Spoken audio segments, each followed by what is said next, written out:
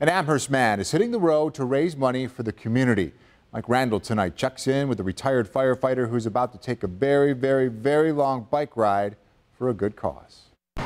When it comes to bike riding, Jason Czora means business. It's pretty exhausting.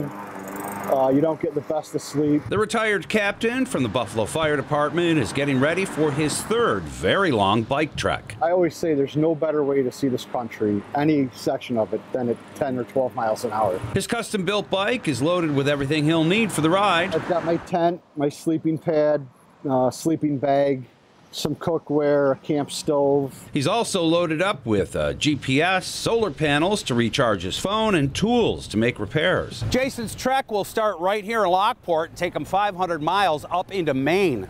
Hope he's got a comfortable seat on that thing. This seat's like riding on air. Jason's ride will take him along the Erie Canal Bike Trail. I'll take it to Amsterdam, New York, and then I'll head north to Saratoga Springs, then that I'll shoot over the Green Mountains into Maine. As Jason logs up miles, he'll be raising funds for the East Side's Response to Love Center. They help uh, underprivileged people get back on their feet, train them in an occupation, they have a soup kitchen. He's set up a GoFundMe account if you'd like to sponsor his ride, and Jason's taking care of the hard part, preparing for a journey that will take him eight or nine days. You really get a good idea of what this country's about the scenery, the beauty. Jason Czora may be retired from firefighting, but his desire to serve his community is still burning strong. It's great exercise, and it gives me the ability to raise money for charities that are, you know, near and dear to my heart. For the Now Buffalo, I'm Mike Randall.